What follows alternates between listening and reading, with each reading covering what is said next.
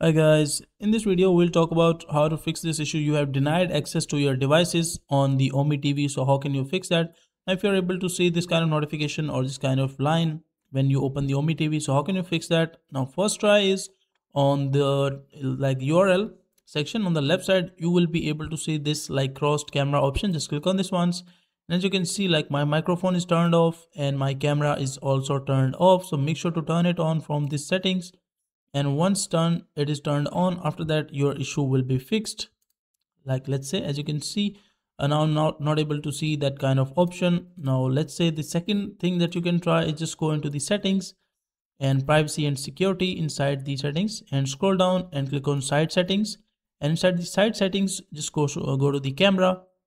And inside the camera make sure that you are using this correct camera hp hd camera uh, user facing. If you are able uh, like you're using any other camera like obs amd or animes or whatever you have installed make sure to turn the official camera to the H, uh, camera user facing. And once done after that your issue will be fixed. And make sure that there's no background application running that is also accessing your camera at the same time.